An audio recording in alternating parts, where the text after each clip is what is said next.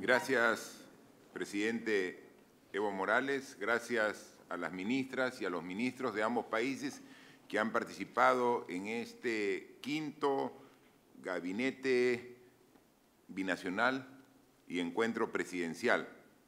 Eh, hay que destacar que hemos trabajado hoy día tres horas, pero tres horas es solamente para eh, hacer el resumen de un año de trabajo, porque en Cobija, el año pasado, establecimos compromisos, metas y objetivos para alcanzar entre las dos naciones. Y hoy venimos a mostrar los resultados. Y este trabajo se ha hecho en cuatro ejes. Un eje que es el de medio ambiente y recursos hídricos.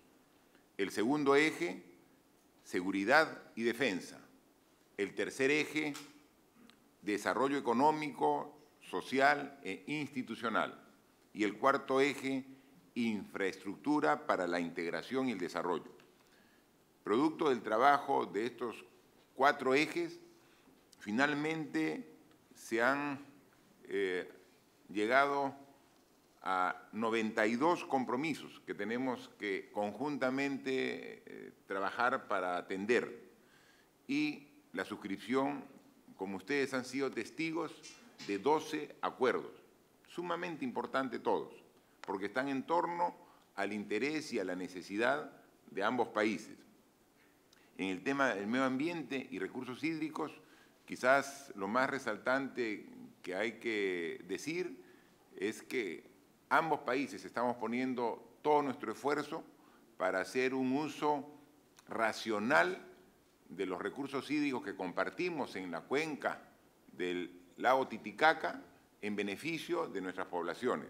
Para eso nos hemos puesto un plazo de tres meses para cambiar la institución del lago Titicaca que no está sirviendo como un apoyo y un soporte para toma de decisiones. Pero adicionalmente ya hemos tomado acciones para descontaminar el lago.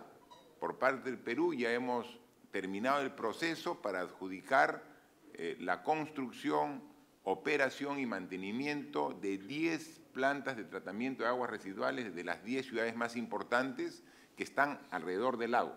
Lo propio está haciendo Bolivia, un trabajo conjunto para hacer un uso racional de esta maravilla natural del mundo que está en medio de nuestros dos países. En el tema de seguridad y defensa, hemos establecido diversos mecanismos para trabajar conjuntamente, por ejemplo, en la reacción que debemos tener ante un desastre natural a través de las instituciones de defensa civil, pero quizás también ahí lo más importante es cómo articulamos eh, acciones para enfrentar a la delincuencia internacional, al crimen organizado, que nos afecta a ambos países y que hay veces, precisamente, se aprovecha de las deficiencias de coordinación burocrática para que cuando se comete un delito en un país, se huye al otro y ahí queda libre. Entonces estamos estableciendo esa estrategia para que podamos combatir la delincuencia, el crimen organizado de manera conjunta y así eh, ser más eficientes que los criminales, que los delincuentes para combatirlos. En desarrollo económico, social, institucional, hemos visto cómo, por ejemplo, articulan los ministerios de salud para brindar salud independientemente de qué lado de la frontera estés, atender y atender respetando su cultura de la población que está en las fronteras entre Perú y Bolivia. Eh, hay acuerdos muy importantes respecto a esos aspectos que también hay una dinámica de coordinación entre ambos países. Y en el tema de infraestructura para la integración y desarrollo, Ahí se ha hablado de diversos temas, la integración vial en carreteras. Nosotros ya estamos próximos a terminar la integración a través de la carretera Tacna-Colpa-La Paz. Eh, lo propio está haciendo Bolivia para también terminar los tramos que vayan desde la línea fronteriza hasta La Paz. Eh, en Tacna, de ir de Tacna hasta la frontera, hemos dividido en tres tramos, dos tramos se terminan este año y un tramo el próximo año. Entonces, eh, hay el compromiso que también eh, Bolivia haga lo propio en la carretera a su territorio.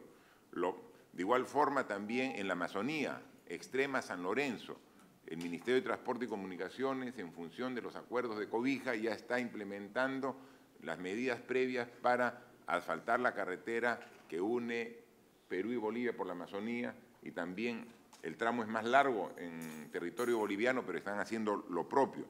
Y entonces vamos a tener vías alternas para la comunicación vía terrestre a la actual, porque actualmente está conectado a través de Hilo, Moquegua, Mazocruz, Desaguadero, La Paz, en una carretera completamente asfaltada, que es la que precisamente usa ahora la carga boliviana para ir y venir hacia el puerto de Hilo y como lo ha destacado también la ministra de Transportes y Comunicaciones, a pesar que estamos a menos de medio año, ya hemos superado el récord que se tenía de carga de uso del terminal portuario de Hilo que tenía el récord histórico, o sea, se está incrementando de manera significativa la carga como un reconocimiento de ese esfuerzo que está haciendo Bolivia para un mayor uso de nuestro puerto, nosotros estamos también haciendo inversiones en el terminal portuario que tenemos aquí en Hilo. Eh, hoy mismo está aquí al frente y hemos podido apreciar cuando estuvimos en las oficinas que gentilmente nos dio el alcalde de Hilo para poder tener una reunión previa con el presidente Evo, que al frente está el buque oceanográfico Carrasco, que es un buque eh, con alta tecnología del Perú, que es el que usamos tres meses al año, precisamente en el Polo Sur para hacer investigaciones en nuestra base Machu Picchu que tenemos en la Antártida, para de tal forma está haciendo un estudio de corrientes, de fondo marino, eh, para poder nosotros construir en hilo, en el terminal portuario, un rompeolas, un muelle de abrigo para que le dé mucho mayor eficiencia y poder ahí recibir más carga boliviana para eh, hacerlo más rentable al puerto. Entonces, si lo hacemos más rentable, el puerto va a haber más carga. Y si hay más carga, se justifica la ampliación del puerto hasta tal manera que se justifique el corredor ferroviario bioceánico del cual ya tenemos nosotros en el Perú el trabajo, eh, la justificación a nivel de perfil y estamos en proceso de elaboración del estudio de factibilidad. Hemos acordado también alinear esfuerzos para hacerlo de manera conjunta. En consecuencia, vamos a avanzar en esos aspectos. Adicionalmente, eh, estamos compartiendo experiencias para eh, explotar más en el buen sentido de la palabra, el potencial que tenemos ambos países para desarrollar mucho más el turismo rural comunitario. Eso es eh, muy, muy importante, un tema que tenemos un enorme eh, potencial. adicionalmente, una, un tema de suma importancia que ya lo hemos tratado en varias reuniones de gabinete binacional, recién hoy lo llevamos a concretar como lo ha destacado el presidente Evo, ya nosotros desde la reunión que tuvimos en Sucre, en Bolivia, luego en Lima, el año pasado en Cobija, hablamos la necesidad también de hacer una, eh, un esfuerzo de integración energética a través de nuestros recursos naturales, a través del gas. Y en consecuencia, hoy se han firmado tres acuerdos en ese aspecto. Uno es en lograr una mejor comercialización de lo que en Bolivia se llaman las garrafas, que nosotros aquí conocemos como los balones de gas. Queremos que se mejore la comercialización para que pueda bajar el costo a las familias, a los hogares.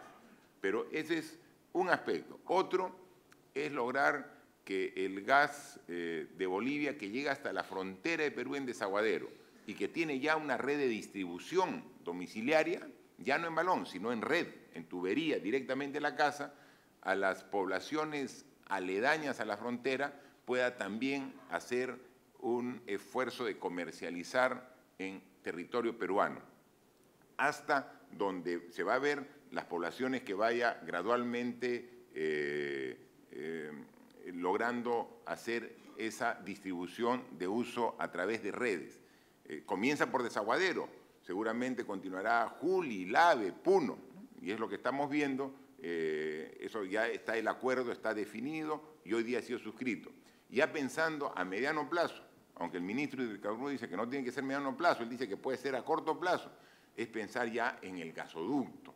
Y el gasoducto, nosotros, como lo hemos dicho, no renunciamos porque es una decisión de mi gobierno eh, llevar adelante la construcción del gasoducto sur peruano que traiga gas de camisea a la macroregión sur.